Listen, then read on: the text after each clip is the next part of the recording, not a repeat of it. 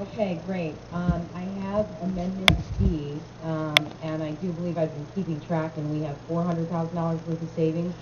Four Um, hundred and twenty-four thousand. four twenty-four, okay. Um, thanks for the good work, Mr. Szollosi. Um, I am going to pass, uh, around what I am calling amendment D. It says, uh, restore four hundred and twenty-four thousand dollars to fund fifty-two hundred and fund fifty-three hundred to start police and fire classes no later than October thirty-first, two thousand and eight. So, um, this is gonna be slow going because I thought we had five hundred thousand, but I'll ask my, We got another question, if you want to take the time. Councilman, uh, Waniewski? Thank thank you, Mr. President. Uh, maybe now's a good time to do the math check. thousand dollars. Yeah. So, okay, let me just tell you again, um, what, what the math that I've done, okay? Three, okay, so starting October one, and what the administration had in the budget was three hundred eighty-seven thousand, two hundred sixty-six eighty-two. If we subtract the one forty-five ninety-two, um, I have to do my math over again here. Hold on, so, three, eight, three eighty-seven, two sixty-six point eighty-two minus one forty-five, two ninety-seven is two hundred forty-one thousand, nine hundred sixty-nine dollars and eighty-two cents. Similarly, the administration has budgeted one fifty-eight, six ninety, eighty-nine for the fire class starting October one. So, if we add that entire amount of the fire class, one fifty-eight, six ninety, eighty-nine, we get the happy number of four hundred thousand, six hundred, sixty dollars and seventy-one cents. So to start this, November one, police and fire, November one, that number is four hundred thousand dollars. Based on the numbers that the administration's provided. And I, you know, I, yeah, I'm reasonably flexible, I just, I just think it's, it's, I think the point that, uh, Councilman Collins was trying to make is that if we wait to start these, specifically the police class, at that late date in December, we are going to experience, um, retirements and other things, and our total number of officers available on the street is going to drop. And, and I don't wanna see that. So, I'm interested in, in getting us, you know, into a police class and a fire class as soon as, um, practical. on the police, as I stated previously, that list is already established. The background checks have already been completed. That class can start earlier than October or December. I recommended August. You asked for July, and I said it would be better if we say August, because I always take into consideration any unforeseeable problems Okay, there's a difference between what we need for police versus fire. We're just starting out establishing an eligibility list for fire, whereby with police, we already have the eligibility list and the background checks by the police department, and they're complete. So it's just going through the rest of the steps. They have their physicals, and there are a number of other processes that we have to bring in professionals to provide. So don't, don't confuse what is ready for the police class with what we're just starting out for the fire class. so, Ms. Gabriel, then, what you are suggesting is that even though the administration, when they initially proposed their budget, and they intended to have a fire class starting October one, um, we're just simply not ready for a fire class potentially at all during two thousand and eight. No, I did not say that.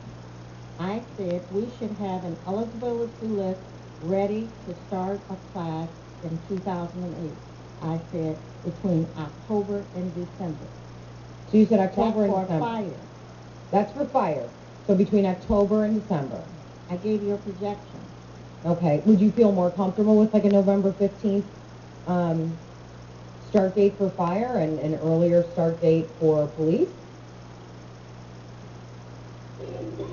November the fifteenth, Can't do it. Yeah, that, You can't do it. there's I some know I things out of her control. that There's she no way you can do that. Not on a I've fire, said- I've said it several times. Yeah, you I can't gave have a you the fire list. projection. I it's know. impossible to have a fire list by, if Can we you get get one the by order here, December. please? I believe Ms. uh, Webb has the floor, all due respect. Um, can, can we, I don't want you to go anywhere, because I do need, I need your professional opinion, but can I bring the chief back up? I just want to see, I mean, because I'm willing to amend this, I mean, if, if the consensus is, so chief, what's realistic in terms of the fire class? I'd really like to do it earlier, but I don't see it getting done before December. Before December. So, Okay, so a December one start date for fire, and basically, and you're saying it's about hundred and forty-five thousand dollars? So, 125 to 150. Okay. So, if we took the police class back to September, we would need, we would be, you I'm saying? So we would start fire December one and the police class September one? And how would those numbers break out? I've got, I hate this thinking on the fly here. September, hundred and forty-five thousand dollars.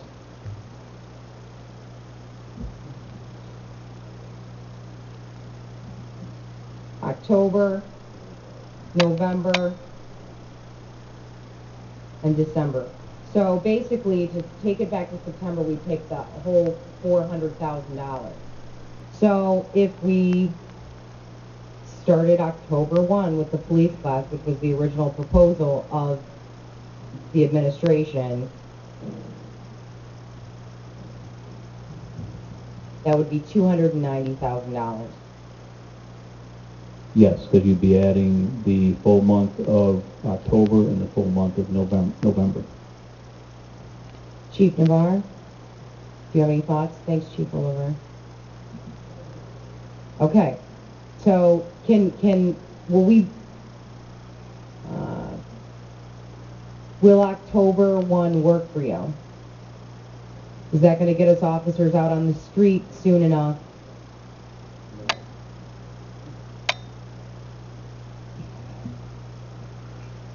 We want to have our max, on? We want to have our maximum strength uh, for the summer months. So the difference between October and December of this year is going to bump us up, takes six months to do the training. So either date is going to have those officers ready for street duty for the summer of '09. whether So they would start like March. Or December 1. April one kind of thing, they'd be out on the street? That's correct, that would take us to April. Okay.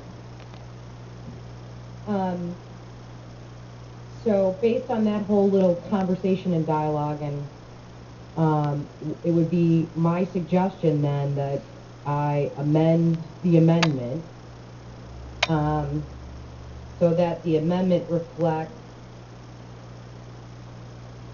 restore